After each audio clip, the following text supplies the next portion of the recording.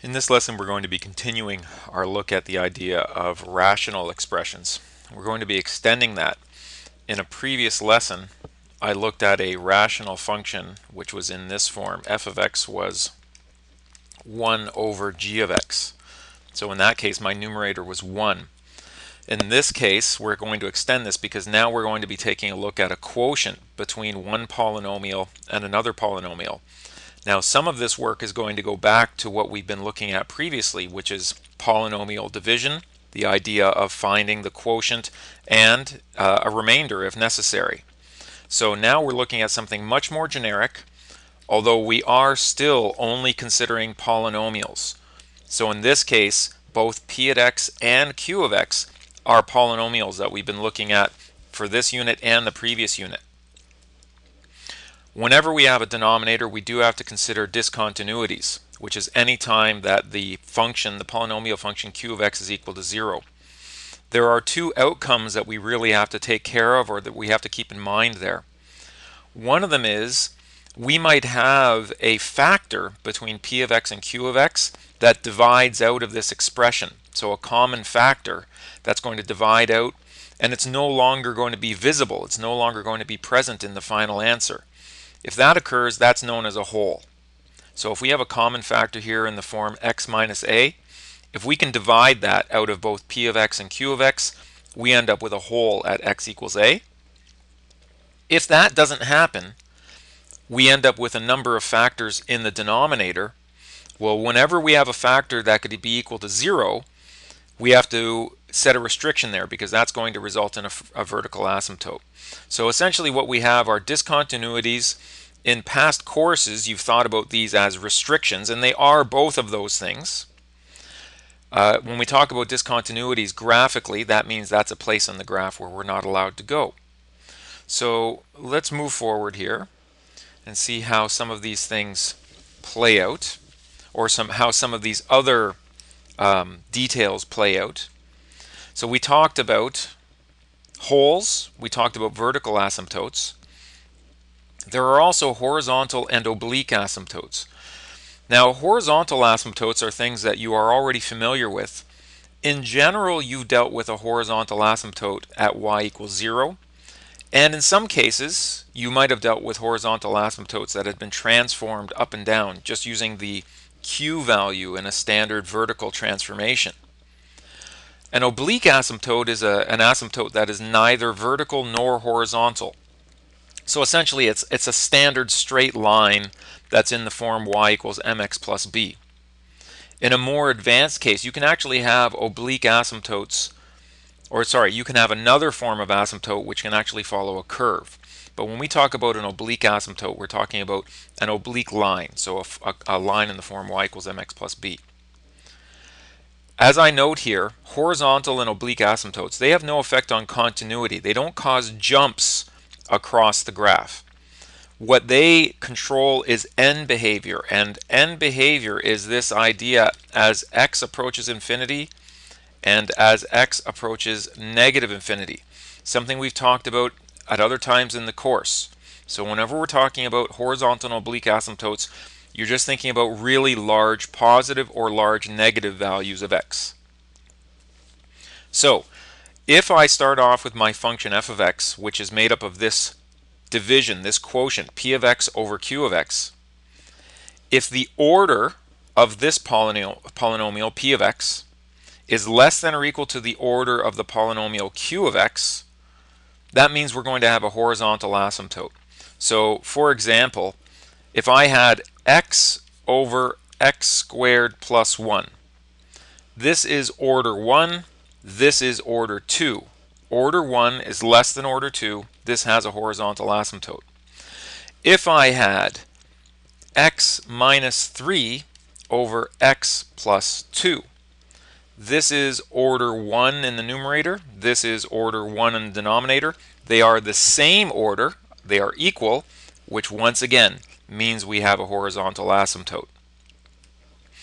Now, we can kind of show that quite conclusively, and we're going to do that by performing the actual division here. And you can see here, I have a linear divided by another linear. So what is the horizontal asymptote? Because even though I can tell you these have an or, a horizontal asymptote, I haven't told you what that is. So how would I find that?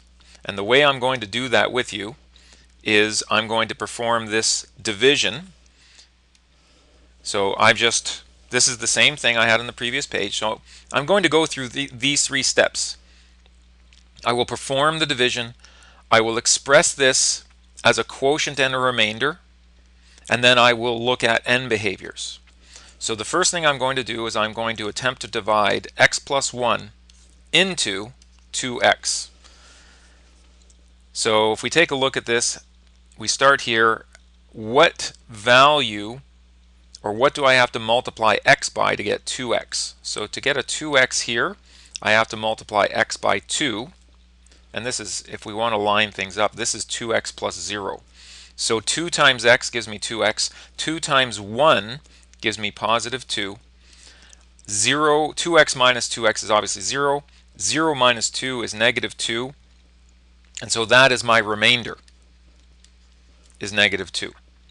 So now what I get is f of x is equal to, it started off as 2x over x plus 1, but that means it is the same as, just to remind you, I'm just going to write over here at the side, if we take a function and divide it by something, the answer is a quotient plus the remainder over the divisor, the thing we divided by.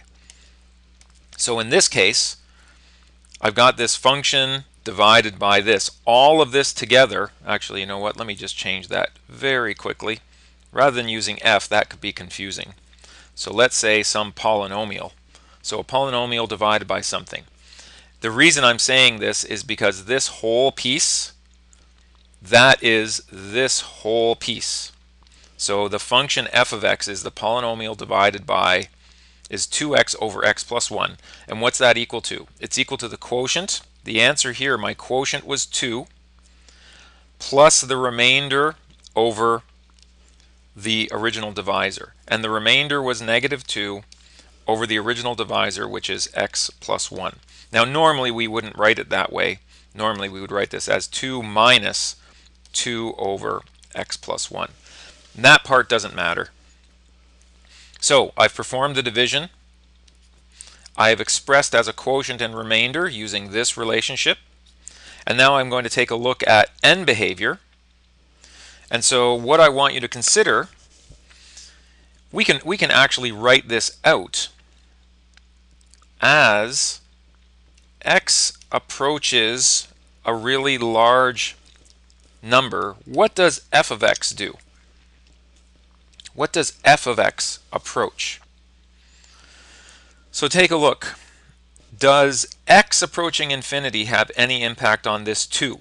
No, of course it doesn't. The only thing it affects is this x. So let's imagine this x getting really, really big. So let's imagine a million. 1 million plus 1, well that's 1 million and 1. What is 2 divided by that really large number? Or even if we put a billion down here, What's 2 divided by a billion? What's 2 divided by a trillion? As we get bigger and bigger numbers, this piece is going to turn into 0. It's going to turn into 2 over a huge number. And so this overall is going to turn into the number 2. Similarly, as x approaches negative infinity, what does f of x approach? And so if I did the same thing, let's take that away. What if I put a really large negative number in here? Well, let's put in negative a billion. Well, negative a billion plus 1 is actually 999,999,999. That's still a really, really big number. So 2 over a really, really big number is going to be equal to essentially 0. So once again, this whole thing is going to go to 0. And so once again, this goes to 2. So when you write this, when you write out your division using this notation, a quotient plus a remainder, my quotient here describes the horizontal asymptote. So my horizontal asymptote in this case is simply the horizontal line y equals 2. This, be, and the reason for that is because this is going to turn into 0. Now that applies that applies for this condition where the order of the numerator is less than or equal to the order of the denominator. In this case, it was equal, but we could have shown this um, just as easily if this was 2x and this one was x squared plus 1. We could have gone through that and we would have found that this whole idea, we would have gotten a horizontal asymptote, a constant. And here's the graph, 2x over x plus 1. It looks like this. It actually looks a lot like a reciprocal function that we're familiar with from the past. It's not quite the same. The shape is a little bit different. It doesn't follow the exact same rules for finding the points, but it certainly does look very similar. Okay, now an oblique asymptote, on the other hand, occurs if the degree of the numerator is greater than the degree of the denominator by exactly 1. So here we have an order 2, here we have an order 1, and in this case we're going to end up with an oblique asymptote. So let's go through those exact same steps. First thing I'm going to do is perform my division. So I'm going to say x plus 1 divided into x squared. I'm going to use a placeholder here of 0x and then plus 4. So what linear value, what linear factor of x do I multiply x by to get x squared? Well, that's going to be an x times x gives me x squared. And then x times positive 1 gives me plus 1x. Perform my subtraction. This is x squared minus x squared is 0. 0x minus x is negative x. Bring down my positive 4. So what number do I multiply x by to get negative x? Well, that's going to be negative 1, giving me a negative x, and then negative 1 times positive 1 is negative 1. And that's going to give me a remainder of 4 minus negative 1 is positive 5. So there's my remainder. So my division statement can then be written. So all of this tells me that f of x is equal to what? Here's my quotient, x minus 1. And my remainder was positive 5. So that's plus 5 over the original divisor, which is 5 over x plus 1. So I've performed the division. I have now expressed that as a quotient and I now have to consider the end behavior. Now you don't have to write out the end behavior if you don't want to. You, once you get familiar with this, you're going to be able to do this in your head. So in this case, let's take a look. What's going to happen is I'm really going to focus on this part. And so as x gets really large, I'm going to write this out in two steps. So as x gets really large, what happens to x plus 1? That's in the denominator. So what can you tell me? If x gets really large, then x plus 1 also gets really large. And so if that's the case, then what is 5 over something that's really large? What's that going to get close to? So as x plus 1 gets really large, what's 5 over something really large? that's going to get closer and closer to zero. And the same thing is true if I said as x approaches negative infinity, then x plus 1, what does it do? Well, it also approaches negative infinity.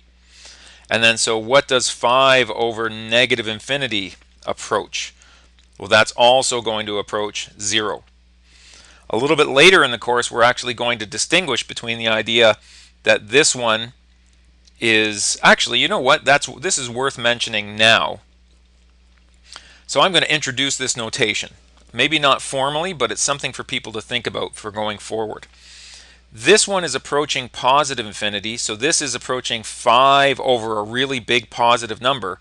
So this is approaching positive, or sorry, this is approaching 0, but it's doing it from the positive side.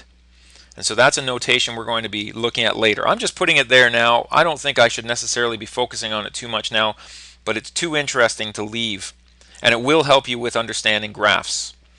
This one is 5 over negative infinity, which means even though this is approaching 0, 5 over a really big negative number is going to become a negative number. So this is approaching 0 from the negative side, meaning it's really, really small negative numbers. These are really, really small positive numbers. Now, what we wanted to find here was actually what is the oblique asymptote. So now that I've looked at the end behavior, what can we say about the oblique asymptote? This whole piece is going to go to zero. Whether it goes to zero from above or zero from below, it's going to zero. So here is my oblique asymptote, which we use the letters OA, short form for that. So this line, and that's a linear, my oblique asymptote is the line y equals x minus 1.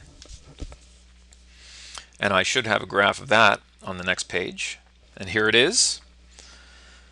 So there's my original function, x squared plus 4 over x plus 1, which I can rewrite using a quotient and remainder form.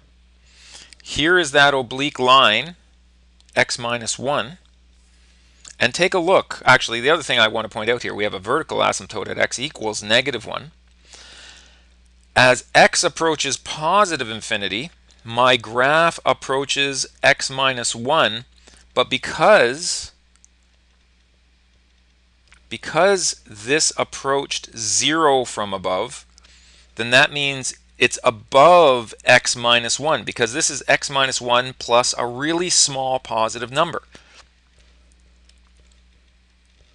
So this is x minus 1 and then above it is a really small number. So it's going to be above. Over here, as x approaches negative infinity, we are slightly below x minus 1, so it approaches it from below. So more on that will come later in the course. So there is your assigned work. Obviously, we're focusing on vertical asymptotes, which are not new, horizontal asymptotes, a slightly different look at them, and oblique asymptotes, which is probably new to most of you.